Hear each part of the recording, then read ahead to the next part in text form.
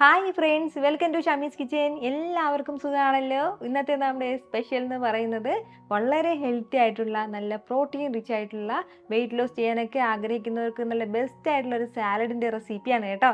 അപ്പോൾ ഈ വീഡിയോ ഇഷ്ടമായാൽ ഇതൊന്ന് ലൈക്ക് ചെയ്യാനും കൂടെ തന്നെ സബ്സ്ക്രൈബ് ചെയ്യാനും ആ തൊട്ടടുത്ത് കാണുന്ന ബെല്ലേക്കൻ ലോൾ മറക്കാതെ കൂടെ ഒന്ന് പ്രസ് ചെയ്തേക്കണേ. എന്നാൽ ശരി ഇതെങ്ങനെയാണ് തയ്യാറാക്കുന്നത് വേഗം ഒന്ന് കണ്ടു നോക്കാം അപ്പോൾ നമ്മുടെ ഈ സാലഡ് തയ്യാറാക്കി എടുക്കാനായിട്ട് ഞാനിപ്പോൾ ഇതുപോലെ ഒരു കപ്പ് നിറയെ തന്നെ മുളപ്പിച്ച ചെറുപയർ എടുത്തിട്ടുണ്ട്. വീട്ടിൽ എങ്ങനെയാണ് വളരെ ഈസി ആയിട്ട് ചെറുപയറും കടലയൊക്കെ മുളപ്പിച്ചെടുക്കുന്നതെന്ന് കഴിഞ്ഞ ദിവസം ഞാൻ വീഡിയോ പോസ്റ്റ് ചെയ്തിട്ടുണ്ടായിരുന്നു. അത് കണ്ടിട്ടില്ലാത്തവർ ഉറപ്പായിട്ടൊന്ന് കണ്ടു നോക്കണം. അതിന്റെ ലിങ്ക് വന്നിട്ട് ഞാൻ ഡിസ്ക്രിപ്ഷൻ ബോക്സിൽ കൊടുത്തിരിക്കാം. അങ്ങനെ മുളപ്പിച്ചെടുത്ത ഒരു കപ്പ് നിറയെ ചെറുപയർ നമുക്ക് ഈ ബോളിലേക്ക് ചേർക്കാവുന്നതാണ്.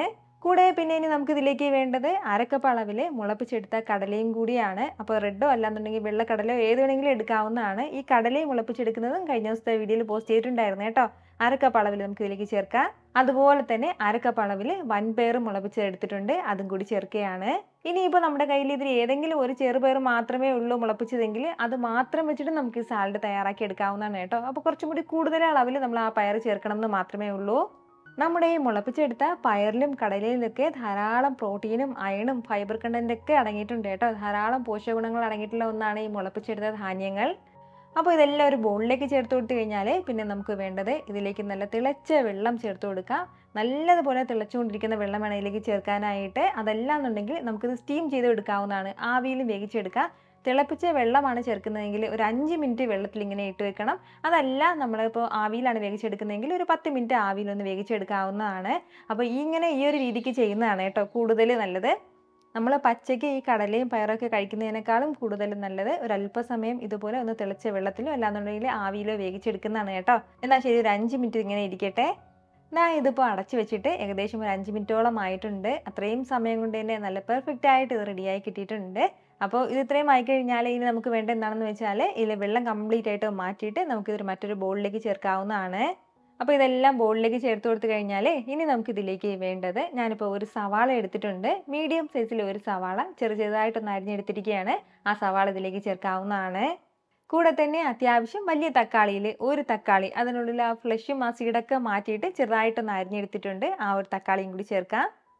അതുപോലെ തന്നെ മീഡിയം സൈസിൽ ഒരു ക്യാരറ്റ് ഞാൻ എടുത്തിട്ടുണ്ട്. ആ ക്യാരറ്റും ചെറുതായിട്ടൊന്ന് അരിഞ്ഞെടുത്തിരിക്കുകയാണ് അതും കൂടി ചേർക്കുകയാണ് ഇനി നമുക്കിതിലേക്ക് വേണ്ടത് കുക്കുംബറാണ് സാലഡ് കക്കരി ഉണ്ടല്ലോ അത് തന്നെയാണ്. അപ്പോൾ അത് ഒന്ന് അത്യാവശ്യം വലുതാണെന്നുണ്ടെങ്കിൽ അതിന്റെ പകുതി മതിയാവും. തീരെ ചെറുതാണെന്നുണ്ടെങ്കിൽ മാത്രം അത് കംപ്ലീറ്റ് ആയിട്ട് നമുക്ക് ചേർക്കാവുന്നതാണ്. പിന്നെ ഇനി നമുക്കിതിലേക്ക് വേണ്ടത് ക്യാപ്സിക്കം ആണ്. അപ്പോൾ ഞാനിപ്പോൾ ഗ്രീൻ കളറാണ് എടുത്തിട്ടുള്ളത്. ഇനി നമ്മുടെ കയ്യിൽ ഇപ്പോൾ യെല്ലോയും റെഡും ഒക്കെ ഉണ്ടെങ്കിൽ അതൊക്കെ നമുക്ക് മിക്സ് ചെയ്തും ചേർക്കാം. ഒരുമിച്ച് ഒന്നായിട്ടാണെന്നുണ്ടെങ്കിൽ ആ ഒന്നായിട്ടും ചേർക്കാവുന്നതാണ്.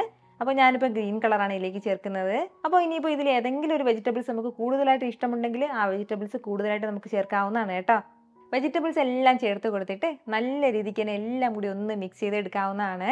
ഇതാ ഈ ഒരു രീതിക്ക് നന്നായിട്ട് ഞാനിതൊന്ന് മിക്സ് ചെയ്തെടുത്തിട്ടുണ്ട്. ഇത്രയും ആയി കഴിഞ്ഞാൽ ഇനി നമുക്കിതിലേക്ക് വേണ്ടത് ഒരു അര ടീസ്പൂൺ അളവിൽ കുരുമുളക് പൊടിച്ചതും കൂടിയാണ്. നമ്മുടെ എരിവിനനുസരിച്ചിട്ടുള്ള കുരുമുളക് പൊടി ചേർക്കാം. അതല്ലാന്നുണ്ടെങ്കിൽ ഒരു പച്ചമുളക് ഒന്ന് ചെറു ചെറുതായിട്ടൊന്ന് അരിഞ്ഞിട്ട് അതും ചേർത്ത് കൊടുക്കാവുന്നതാണ്. ഇനി വേണ്ടത് ഒരു കാൽ ടീസ്പൂൺ അളവിൽ ചെറിയ ജീരകം വറുത്ത് പൊടിച്ചതാണ് കേട്ടോ. അപ്പോൾ ഈ വറുത്ത് പൊടിച്ച ഈ ജീരകത്തിന്റെയൊക്കെ ടേസ്റ്റ് നമുക്ക് ഇഷ്ടമുണ്ടെങ്കിൽ മാത്രം ആ ഒരു ഫ്ലേവറൊക്കെ ഇഷ്ടമുണ്ടെങ്കിൽ മാത്രം ചേർത്ത് കൊടുത്താൽ മതിയാവും. ഒരു നിർബന്ധവുമില്ല നമുക്ക് ഈ ജീരകം ചേർക്കണം എന്നുള്ളത്. അപ്പോൾ ഞാനിപ്പോൾ ഒരു കാൽ ടീസ്പൂൺ അളവിൽ ചേർക്കുകയാണ്. അതുപോലെ തന്നെ ഒരു അര ടീസ്പൂൺ അളവിൽ ചാട്ട് മസാലയും കൂടി ജീരകത്തിന് പറഞ്ഞതുപോലെ തന്നെയാണ് നമുക്ക് ഇതിന്റെ ഫ്ലേവർ ഇഷ്ടമുണ്ടെങ്കിൽ മാത്രം അര ടീസ്പൂൺ അളവിൽ ചേർക്കാവുന്നതാണ്. അല്ലെങ്കിൽ നമുക്ക് കംപ്ലീറ്റ് ആയിട്ട് ഇത് ഒഴിവാക്കാവുന്നതാണ് കേട്ടോ. അപ്പോൾ ഇത് ഇത്രയും ആയി കഴിഞ്ഞാൽ പിന്നെ ഇനി നമുക്ക് ഇതിലേക്ക് വേണ്ടത് ഒരു ഒന്നര ടേബിൾ സ്പൂൺ അളവിൽ ആപ്പിൾ സിഡർ വിനീഗറും കൂടിയാണ്. എപ്പോഴും സാലഡിന് ആപ്പിൾ സിഡർ വിനീഗർ നല്ല ബെസ്റ്റ് ആയിട്ടുള്ള ഒന്നാണ് കേട്ടോ. അപ്പോൾ ഞാൻ അതുകൂടി ഇതിലേക്ക് ചേർക്കുകയാണ്. ഈ ആപ്പിൾ സിഡർ വിനീഗർ ഇല്ലാന്നുണ്ടെങ്കിൽ മാത്രം നമുക്ക് ഇതിലേക്ക് നാരങ്ങാ നീരും ചേർക്കാവുന്നതാണ്. അപ്പോൾ ഈ വിനീഗർ ഓൺലൈനിൽ പർച്ചേസ് ചെയ്യാനുള്ള ലിങ്ക് ഞാൻ ഡിസ്ക്രിപ്ഷൻ ബോക്സിൽ കൊടുത്തിട്ടുണ്ട് കേട്ടോ. ആവശ്യമുള്ളവർക്ക് വേണമെന്നുണ്ടെങ്കിൽ ആ ലിങ്കിൽ ക്ലിക്ക് ചെയ്ത് നിങ്ങൾക്ക് പർച്ചേസ് ചെയ്യാവുന്നതാണ്. ഇനി നമുക്ക് ഇതിലേക്ക് വേണ്ടത് ആവശ്യത്തിനുള്ള ഉപ്പും കൂടിയാണ്. ആ ഉപ്പും കൂടി ചേർത്ത് കൊടുക്കാം.